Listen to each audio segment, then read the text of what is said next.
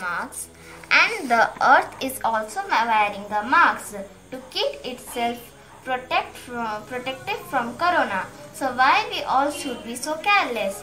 Wear a mask and stay safe. Thank you.